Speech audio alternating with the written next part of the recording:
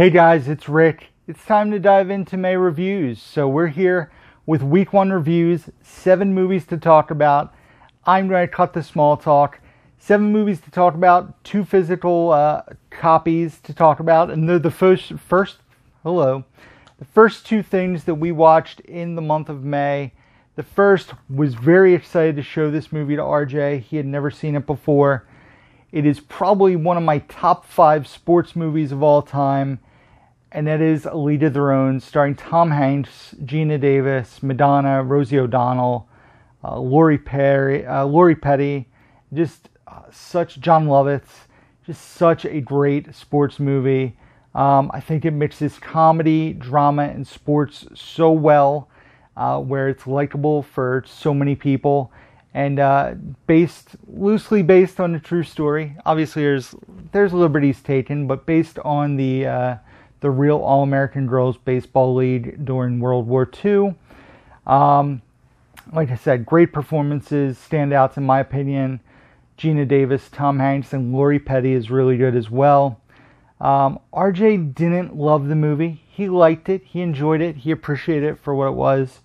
Uh, but the movie still holds up so well for me. This is a five star film for me. Uh, just so, so, so good. So, League of Their Own, if you guys have not seen this, please do yourselves a favor.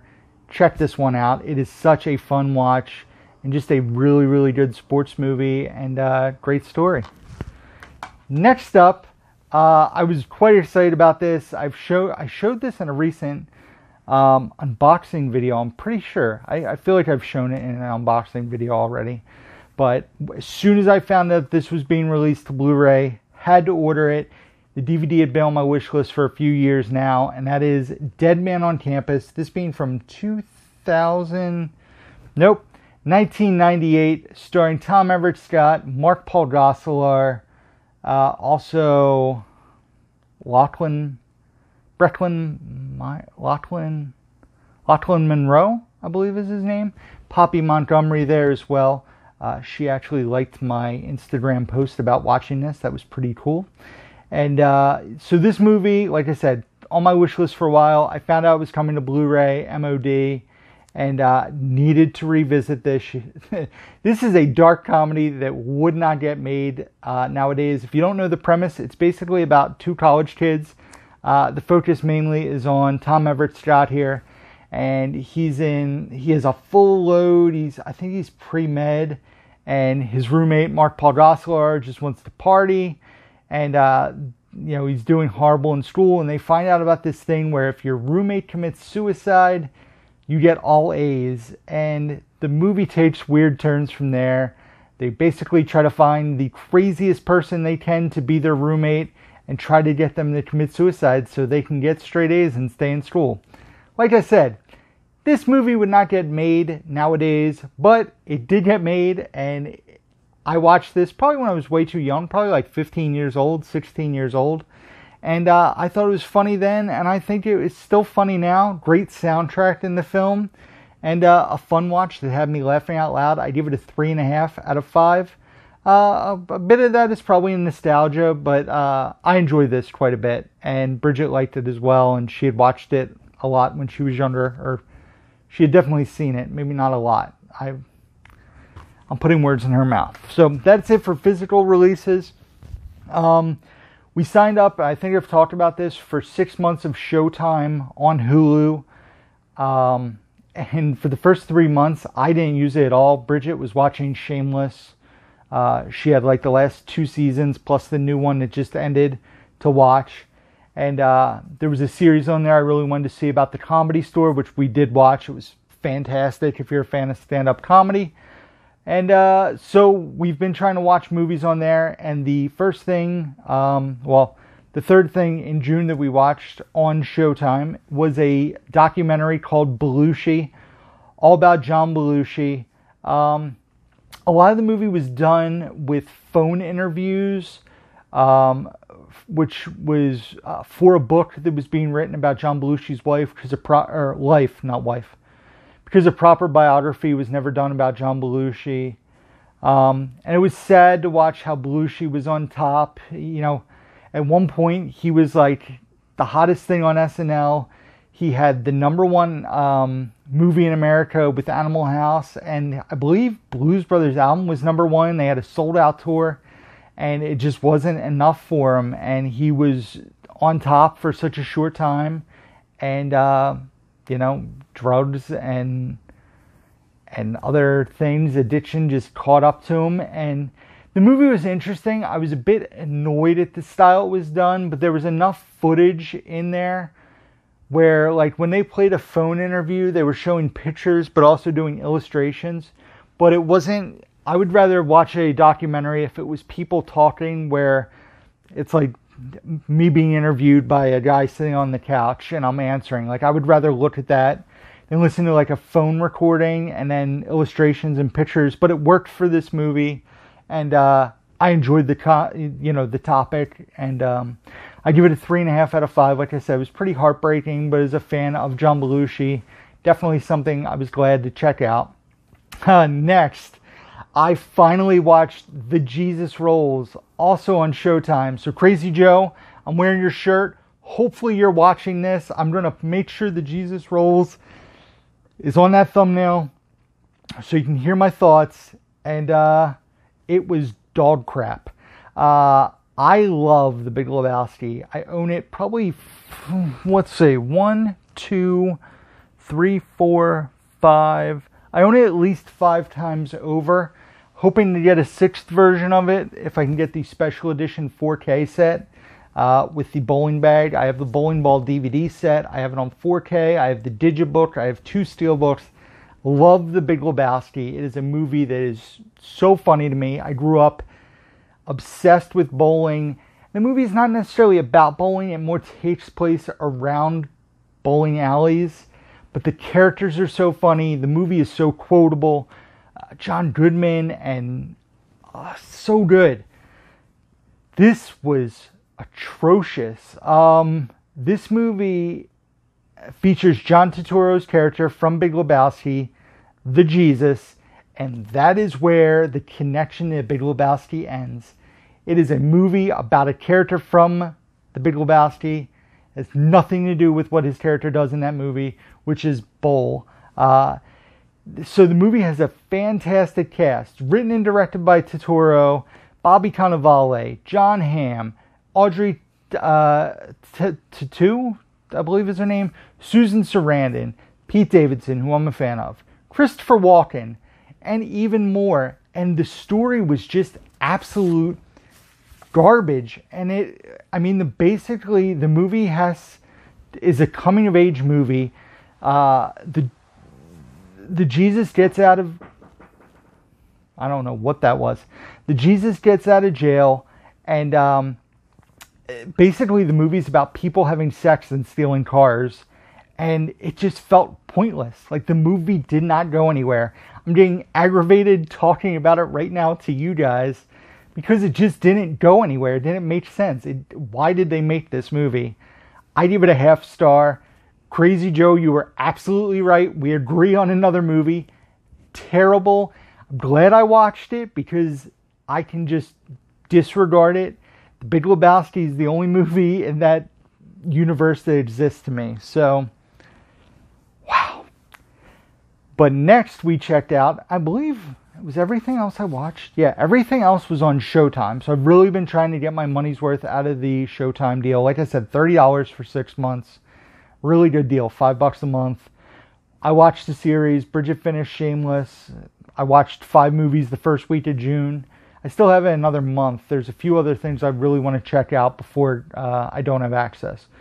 The next title uh, was a movie that's been on my radar for a while only got a DVD release, never a Blu ray release, so I put off buying it. And it's a movie called Hot Summer Nights, starring Timothée Chalamet, who you guys know I'm a big fan of. It's an A24 film. Uh, it is, um, it's basically a coming of age movie about a kid who becomes a drug dealer by chance. Um, Timothée Chalamet goes away, I believe, to live with his aunt It's been a while. It's been a month since I watched it. He goes away to live with his aunt, and it's this town where he's kind of like he's out of place. He works at a convenience store. The local drug dealer comes in and he basically starts selling drugs, and the drug the drug dealings get bigger and bigger, and he wants to make more and more money. Um, the film features an awesome soundtrack. Uh, the movie takes place in 1991, but the movie gives off serious 80s vibes throughout. Like, like I don't even think 1991 was essential to the plot, but this felt very 80s. But they make sure you know that it was it took place in 1991. Um, supposedly based on a true story. I personally find that a bit hard to believe, honestly. Um, but it's a movie about greed and a movie about taking life in a certain direction, and you'll it'll usually end up the same way when you take life in that direction. But I enjoyed it. The movie looked really good. It's really a shame it didn't get a Blu-ray release. Obviously on Showtime it was in HD, but never got a physical Blu-ray. So I'm not going to get a DVD of it. I if it got a Blu-ray release, I would I would get the Blu-ray of it. Um, but good performances. Timothée Chalamet crushes it. He's been so good in so much of what I've seen him in. So I recommend Hot Summer Nights. I give it a three and a half out of five. Definitely check it out if you come across it. Uh, next up was another documentary about a filmmaker, and that is De Palma, which was watched on Showtime. I feel like my camera is blurry. Maybe it's my eyes. It's been a long week, guys. So, De Palma, uh, so it's about Brian De Palma. So I'll start off the review by mentioning that I've only seen a handful of Brian De Palma's movies. Um, the standouts would be like Scarface, Carrie, Mission Impossible, um, The Untouchables, and a few others. But uh, this documentary is kind of interesting because it basically takes him and he talks about briefly about how he got started in film, but then kind of goes through his experiences on each movie and what they mean in his career and how that affected his his career, you know, ahead and whatnot. Um, so it talks about his short films up through, I believe, 2007. That's where it goes up to. Um, Brian De Palma comes off as very self-indulgent in this movie, uh, very unlikable in my opinion. And uh, from what I've seen, uh, the movies I've seen of his, I think he's an overrated filmmaker, but I've also seen a small fraction of his filmography. There's movies that, um, through watching this documentary, I'm more intrigued to check out, like Blowout with John Travolta and The Bonfire of the Vanities, which is on my Tom Hanks to watch list. Um, it was interesting, but at the end of the runtime, I was sick of hearing Brian De Palma talk about himself and and how great it was, uh, how great he was. And the other thing I find interesting is that nobody else was interviewed for this movie. So I wonder what Brian De Palma's like to work with that nobody else was talked to in this movie. It just seems weird. Like if he's such a you know special director, wouldn't they have a bunch of people wanted to get interviewed about it? But I give it a three out of five. It was another A24 film, which is a bit interesting that they did a documentary. Um, but the last movie, we're again the, the seventh movie, and then I'm calling it a night. I'm going to actually watch a movie after this. Was Sword, Sword of Trust, Sword of Trust, uh, which was on Showtime. I wanted to check it out based on the cast. The two leads, or two of the leads, are Marc Maron and Jillian Bell. Um, so the movie's about a pawn shop owner, Marc Maron, and uh, a couple that inherits a rare Civil War relic. And it's supposed to be a comedy, and it just felt like it was a weird sketch play thing. Like these these weird guys come to the pawn shop and try to rob the pawn shop to get this relic, and then this guy wants to buy the relic and they get put in the back of a truck. It the movie is pretty pointless. Um, it, it, was really just something to have on, and I was honestly I was half paying attention to it in parts because it was so pointless. I give it a one out of five. It was it was just pretty tough to sit through and not something I'd recommend. But that is it, guys. That is everything I watched the first week of May. The paper is done. I am going to relax the rest of the night. I'm gonna rip this up, tear it up. I'm gonna rip it. And uh, thank you guys for watching. As always, I'm losing my mind. Uh, you're reaping all the benefits. Um, so thank you guys for watching. As always, be sure to give this video a thumbs up if you liked it. Leave comments down below. Let me know what you guys think about my reviews. Let me know what you've been checking out and watching yourselves. Also, check out the description box down below where you can find links to my Facebook, Instagram, Twitter, uh, my Letterboxd where I rate review all the movies I watch, Blu-ray.com profile, Amazon wishlist, uh, eBay store, PO box, email address, uh, links to the Movie Hoarders trailer, which is a documentary I'm going to be a part of, plus links to where you can pre-order Movie Hoarders from VHS to DVD and beyond. Coming soon, guys. Comes out today's June 30th. Comes out in a month. I cannot wait for it to come out. I'm so excited to check it out. But that is it, guys. So as always, thank you for watching. Until next time, who down the movie, baby? That was weird. It was like Adam Sandler. I don't know. Later, guys.